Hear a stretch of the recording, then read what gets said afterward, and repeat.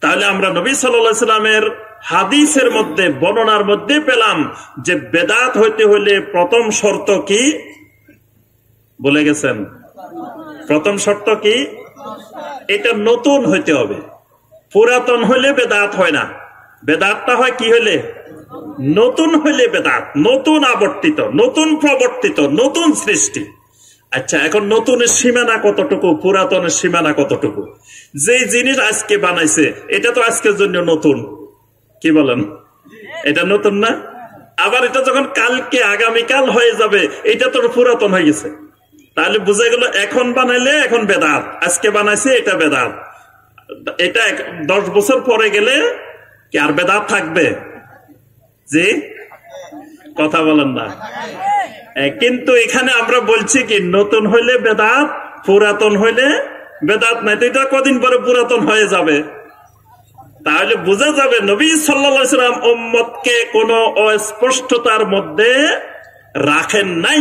নবী সাল্লাম বলছেন, আমি আমার উম্মতকে রেখে যাচ্ছি এমন এক শুভ্র দিনের উপরে, পরিষ্কার দিনের উপরে, লাইলুহা কানাহা রিহা সোহান আল্লাহ যে আমার উম্মতকে এমন এক শুভ্র দিনের উপরে, আলোকিত দিনের উপরে রেখে যাচ্ছি, যেটা রাত দিনের মতো, দিন রাতের মতো। সোহান এটা রাতও অন্ধকার নাই, রাতটাও দিনের মতো।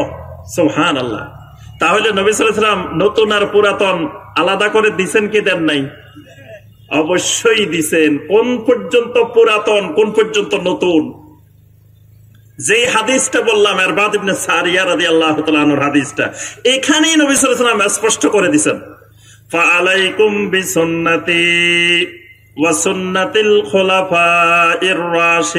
আল মাহদিয়্যিন।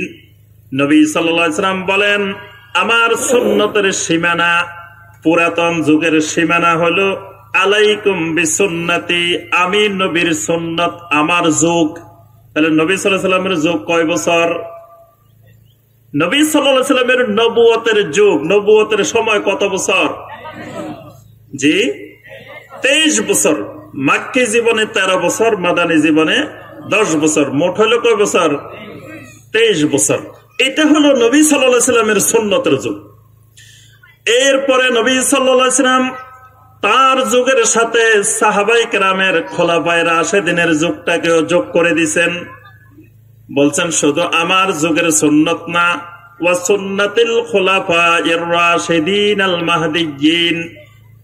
আমার খোলাফায় রাশেদিন আল মাহদিনের সুন্নতকেও তোমরা শক্ত করে ধরবা। খোলাফায় রাশেদিনের যুগ কয় বছর?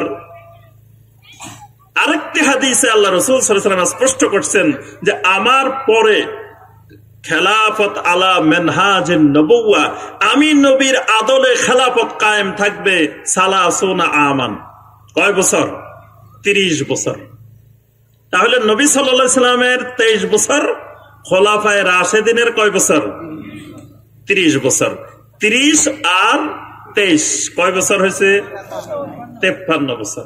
এই তেপ্পান্ন বছরের ভিতরে যত এবাদত ছিল যত শরীয়ত ছিল, যত দিন ছিল, এই সবগুলা হলো পুরাতন। এই তেপ্পান্ন বছরের পরে এবাদতের নামে, শরীয়তের নামে, দিনের নামে যা কিছু চালু হবে, যা কিছু আবিষ্কার হবে, এটা আর পুরাতন থাকবে না, এটা হয়ে যাবে, এটা হয়ে যাবে নতুন। তাহলে নতুন আর পুরাতনের সীমা রেখা পেয়ে গেলাম আমরা।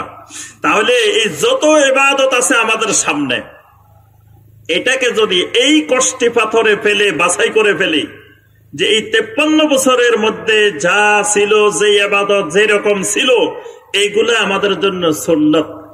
এর পরে তেপ্পান্ন বছরের পরে যা আবিষ্কার হয়েছে চোদ্দশো বিয়াল্লিশ হিজড়ি পর্যন্ত। বাংলাদেশে কিন্তু নতুন নতুন আবাদত প্রতি বছরে আবিষ্কার হয়। প্রতি বছর নতুন নতুন আবিষ্কার হয়। এটা হলো এই অঞ্চলটা হলো বেদাতের ফ্যাক্টরি, বেদাতের কারখানা। এখানে নতুন নতুন বেদাত কন্টিনিউ চালু হইতেই থাকে। কারণ যিনি যত বেশি বেদাত চালু করতে পারে, উনি তত বড় হুজুর। উনি তত বড় আল্লামা। উনি তত বড় বুজুর্গ। তার নামের আগে তত বড় বড় উপাধি যোগ হইতে থাকে। যত বেশি যিনি বেদাত তৈরি করতে পারে। নতুন একটা তরিকা বানাইতে পারলে উনি ওই তরিকার মুজাদ্দিদ, উনি ওই তরিকার ইমাম। তাহলে এই দেশে বেদাত তৈরির প্রতিযোগিতা চলে।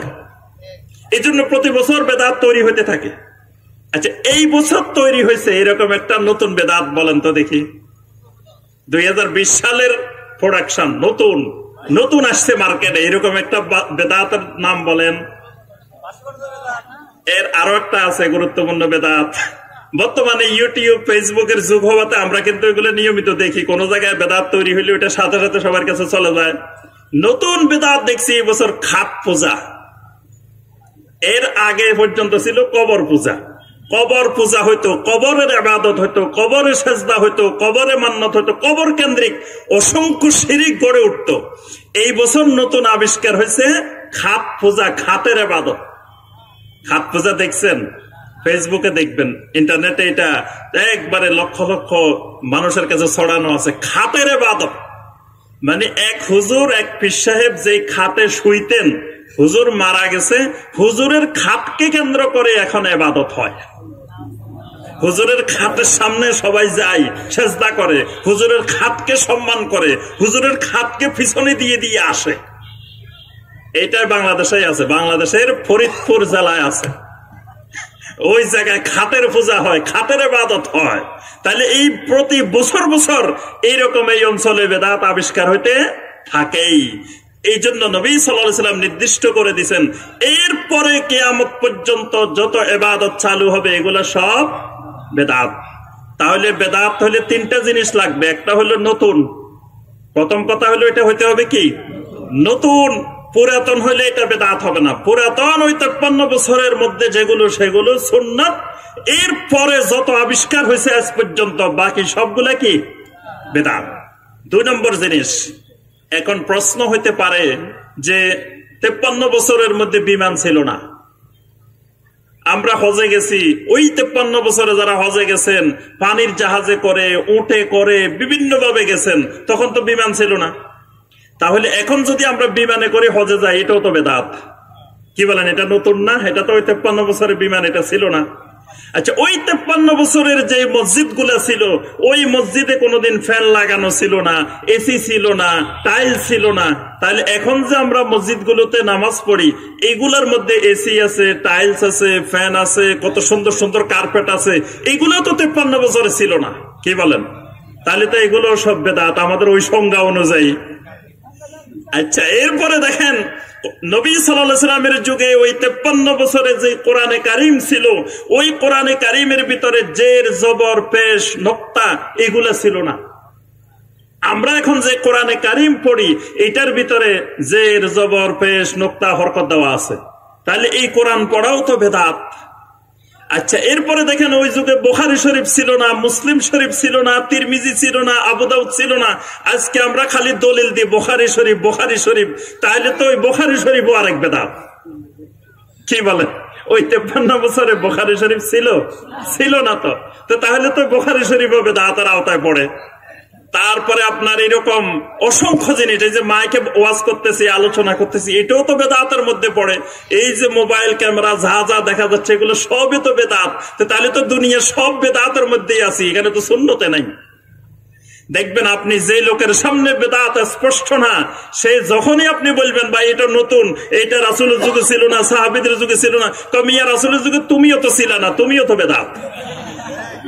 তুমি ওই তেপ্পান্ন বছরে ছিল নাকি? আমরা এখানে মাহফিলে যারা আসছি, কেউ ওই তেপ্পান্ন বছরে ছিলাম। তা আমরাও তো আরেক বেদাত। তবে যে এই যে তোমরাও তো নতুন হয়েছ চোদ্দশো বছর পরে। এই জন্য দ্বিতীয় জিনিস যেটা বুঝতে হবে, আল্লাহ রসুল সাল্লাম স্পষ্ট করে দিচ্ছেন বেদাতের ব্যাপারে, সেটা হলো ফিদ্দিন। বেদাতের সম্পর্কটা হবে আল্লাহর দিনের ভিতরে, আল্লাহর দিনের জন্য। আল্লাহর দিনের বাহিরের কোন জিনিস, আল্লাহর দিনের জন্য কোন উপকরণ, এগুলোর সাথে সুন্নত বেদাতের কোন সম্পর্ক নাই। বেদাতের সম্পর্কটা শুধুমাত্র দিনের ভিতরের জিনিসের সাথে, দিনের উপকরণের সাথে কোনো সম্পর্ক নাই। এই জন্য দেখেন নবী সাল্লাম বলছেন, মান আহদাসা ফি আমরিনা হাজা মা লাইসা মিনহু ফাহুয়া রাদ্দুন। মান আহদাসা, যেই লোকটা নতুন কোন এবাদত বানাইলো, যারা নতুন কোনো কিছু সৃষ্টি করল, ফি আমরিনা ফি আমরিনা মানে ফি দিনিনা, ফি শরীআতিনা।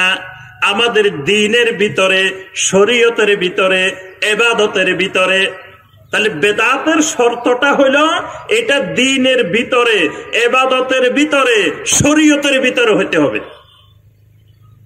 যদি এটা দিনের জন্য তৈরি করা হয়, এবাদতের জন্য করা হয়, শরীয়তের জন্য করা হয়, শরীয়তের উপকরণ, দিনের উপকরণ, এটার সাথে সুন্নতার বেদাতের কোনো সম্পর্ক নাই।